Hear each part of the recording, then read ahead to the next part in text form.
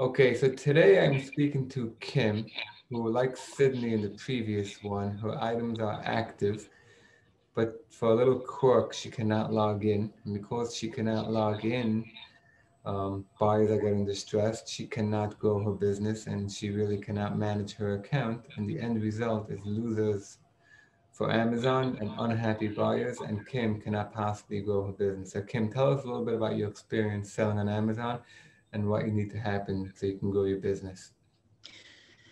Well, I really, first of all, I really love selling on Amazon when I first started. Um, and I first started October of 2019. Um, it was such a joy. Everything that I had to do was a joy. Um, answering que- uh, customers' questions if I had to, it was a joy. Um, everything from A to Z was a joy. But um, 2021, January the 31st, I noticed that I began to start getting notifications at um, another email address, which was my own as well.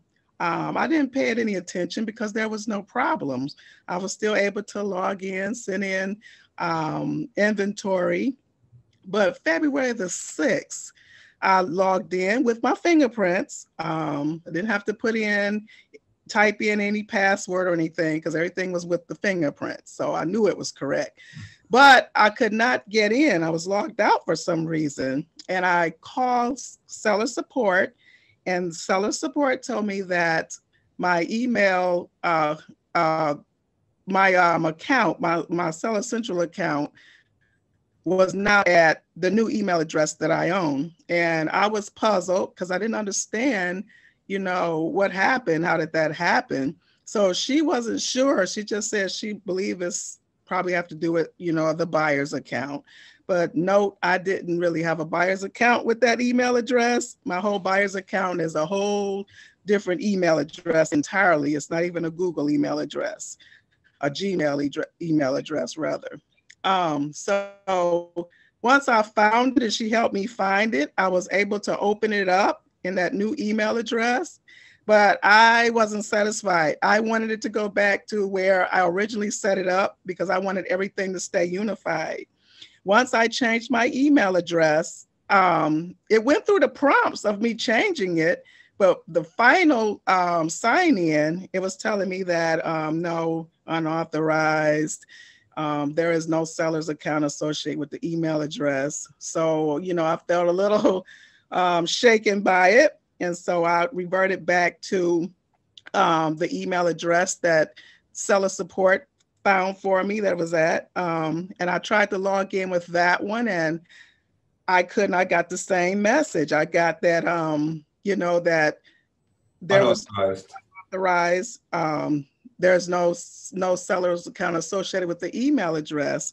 So I didn't know what to do. It was kind of late. I went to bed. I had to go to work the next day. Um, so I woke up in the middle of the night at 3 a.m and um, I created another seller's account so I could have phone support.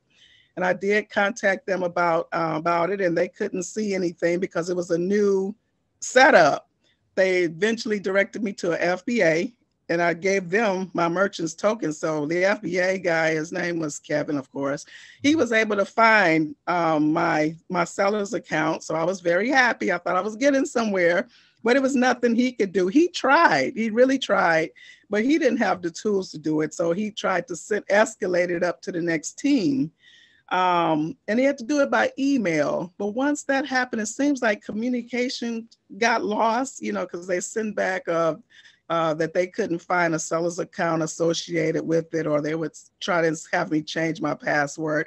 Of course, I, I contacted them numerous times with the email address and and I would you know, through email and I would get changed password or they couldn't find an account associated with it. Um, so finally, I requested to speak to a supervisor before I closed out the old, the new account I set up. A, new, a supervisor actually called me back from Costa Rica, and um, I gave him my merchant token. So he said he really loves solving problems like these, and he said that he would um, try. He said he believed that if he if I changed my email address, I would be able to see my account again.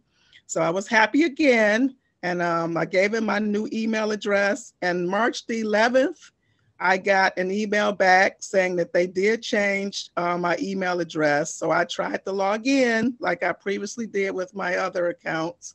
And it was telling me it's unauthorized. Um, there's no seller's account associated with the email address. So again, I was disappointed and didn't know what to do. So I I emailed them back and told them that, you know, this is not working. And I believe they tried to change the email address to a buyer's account, which I don't have a mm-hmm. buyer's account with the email address. But I believe that's what they thought they were doing to help me. Um, so other than that, I, I just responded back telling them that, you know, that this didn't work and I copied and pasted what they sent me. I copied the case number and sent it back. And so I'm still waiting on a reply for that. For so that to happen. It's in February, correct? February the 6th, yes right? So it's two and a half months. And during these two and a half months, your business, you said you were trying to build a business. yes. And I don't blame you. It's awesome having your own business, but you can't um, grow it if you cannot log in. I can't. I can't at all. I can't. And it feels like a void, you know, because I, I incorporated this into my daily activity. You know, I'm always checking my account always checking to see inventory, what sold, what haven't sold, if there were any problems with it. And so far, I had no issues with selling on Amazon. I have all my metrics are good. Everything was good. So um, yeah, so so yeah. yeah. so it's very frustrating when this happens. I mean, I, I've seen this.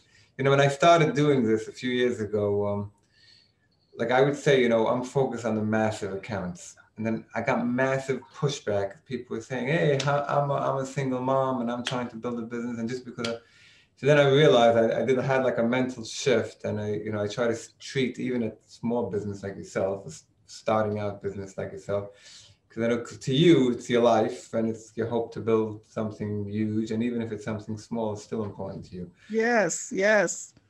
Yeah, so I I, I totally get that, and I totally understand the frustration. Um, I'm going to post and we'll see if we get some ideas from the group, um, or hopefully where I prefer somebody in Amazon from the big, you know, takes a look at it and they'll fix it like this. Okay. I appreciate you so much. Thank you for helping sellers like me, especially small, small sellers. Um, yeah, yeah. Really... Small sellers with big hearts, right? yes, yes, yes. All right. God bless you. Be well. Thank you. God bless you. Thank you. Bye. Bye bye.